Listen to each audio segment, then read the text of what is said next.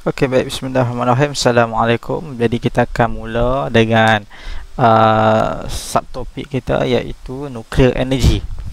Okey. Baik. Jadi uh, nuclear energy is known as uh, an atomic energy released during nuclear reaction such as radioactive decay, nuclear fission and nuclear fusion.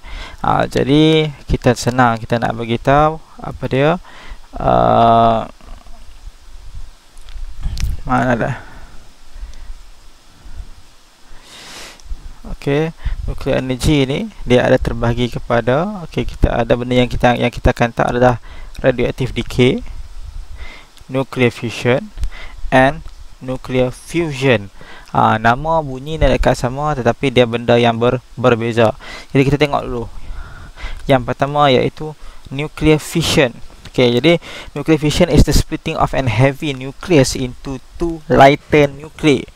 Jadi senang nak beritahu fission ni adalah satu pecahan atom yang uh, nombor proton dia sangat besar. Okay, jadi maksudnya first kita ada satu atom yang besar dilanggar oleh satu neutron bergerak dengan kelajuan yang tinggi. Dia langgar atom yang besar ni. Jadi apa akan jadi? Atom tu akan terpecah kepada dua okey. Dan kita akan ada apa neutron yang lain lah. Uh, alongside with energy. Uh, ada tenaga lain yang akan keluar.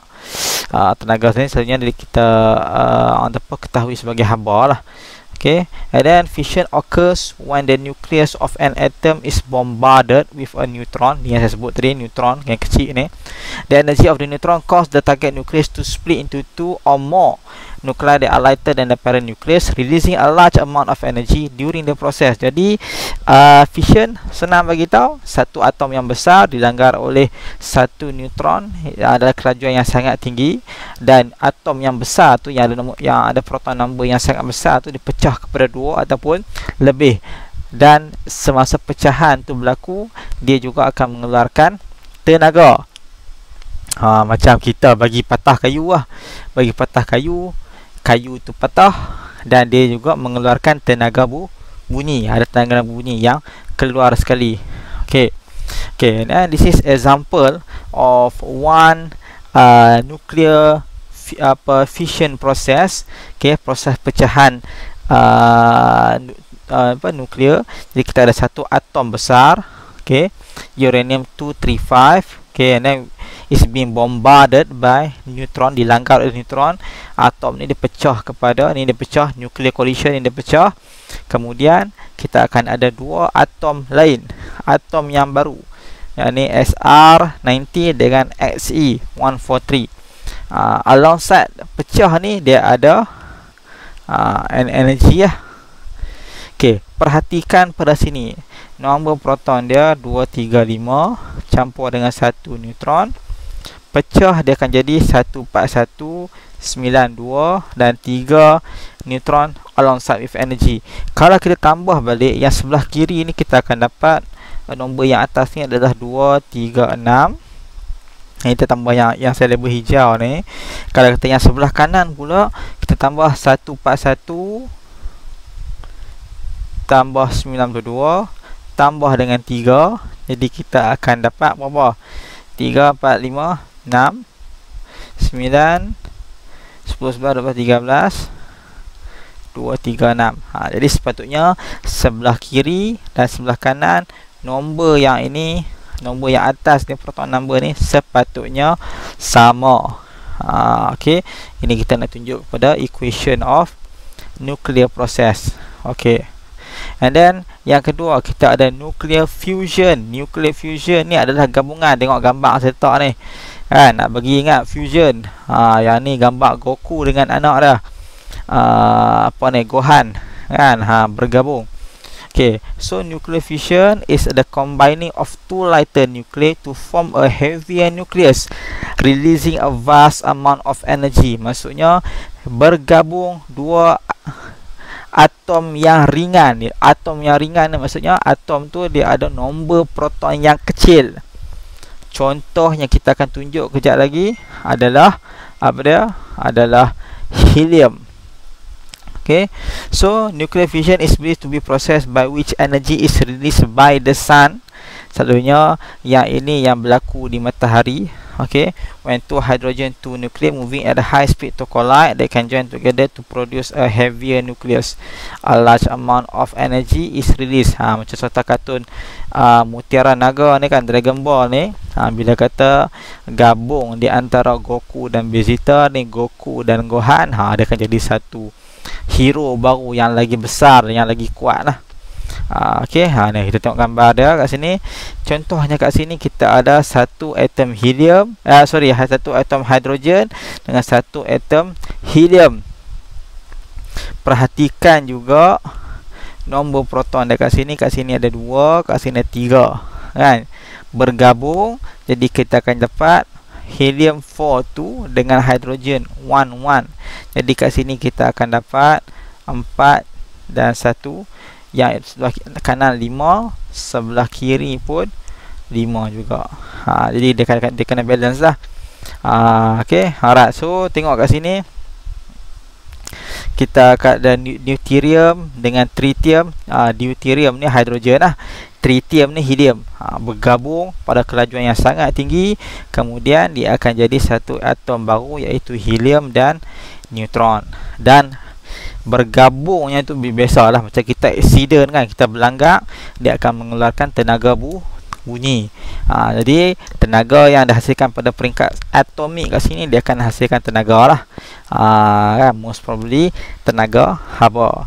So this nuclear reaction represent the extremely high temperature and pressure for example at the at the sun. Ha, so uh, matahari dia ada uh, saiz yang sangat besar bila kita dia sangat besar graviti dia sangat tinggi menyebabkan atom-atom ni termampat dengan dengan kekuatan yang sangat tinggi. Ha, so jadi nuklear proses kat situ berlaku. Ha, okay. So uh, the release of energy in a nuclear reaction with a change of mass. Okay uh, dua-dua proses yang kita dah belajar lah tadi iaitu fusion dan fission. Dua-dua tu dia menghasilkan tenaga dia membebaskan tenaga. Fission atom pecah. Fusion atom gabung. Dua-dua tu menghasilkan tenaga yang sangat besar. Ah okey. Jadi uh, apa? The source of this energy is from the loss of mass in nuclear reaction. Jadi antara punca uh, antara sebab tenaga datang yang tenaga ni adalah loss of mass in nuclear reaction. Macam kita lah kita nak hilangkan berat badan kan? So lemak kita ni nak nak hilang tu dia nak jadi apa? Dia nak ke mana? Adakah jadi peluh semata-mata? Tidak. Dia akan bertukar menjadi tenaga. Tenaga tu yang kita guna untuk bergerak dan sebagainya. Jadi untuk nuclear proses ni atomic number tu akan hilang akan hilang sikit jadi hilang tu dia pergi mana? Ha so hilang tu as a form of energy. Uh, the sum of masses of the particles before the reaction is more than the sum of masses in of the particle after the reaction. Ha, jadi uh, jumlah uh, masses jumlah berat sebelum uh, reaction adalah lagi besar okay is more than the sum of masses after the reaction. Jadi kat ini tunjuk sum of masses tolak sum of masses uh, sorry sum of masses before reaction tolak sum of masses after reaction. Uh, itulah yang kita akan dapat. Dia punya dia punya apa? Uh, mass defect okay mass and energy can be exchanged one for another. Uh, tenaga dan uh, tenaga dan uh, same dapat ditukar salah satu sama lain. Okay a loss of mass in nuclear reaction means that the energy the means that the mass had changed to energy.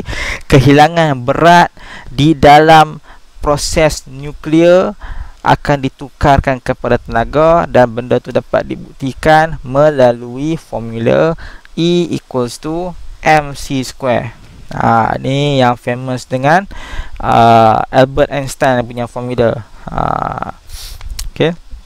Jadi E stands for E stands for energy, M stands for mass, and C stands for uh, apa dah ni? Speed of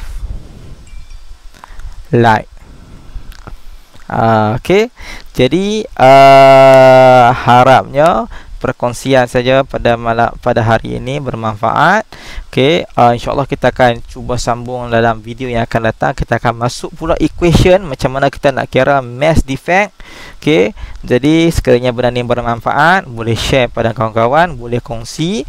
Uh, semoga mendapat manfaat daripada video yang saya buat. Itu saja. Terima kasih. Assalamualaikum.